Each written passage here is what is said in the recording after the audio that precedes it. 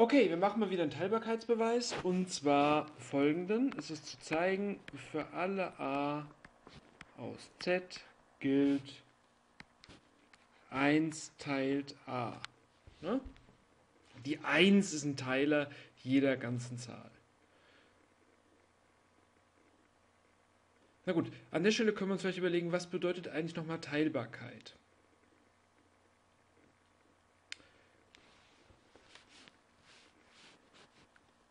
Also eine Zahl b teilt a, genau dann, wenn ein q aus z existiert, sodass b mal q gleich a ist. Ne?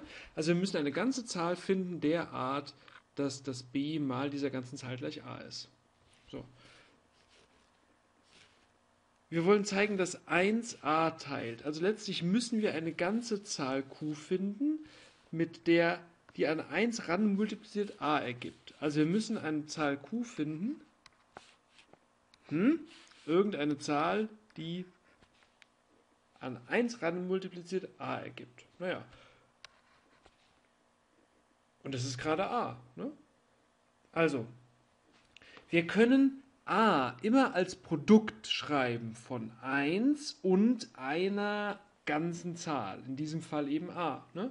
Das heißt, a ist immer darstellbar als Produkt von 1 und a, also einmal a. Insofern kann man sagen, okay, 1 teilt a.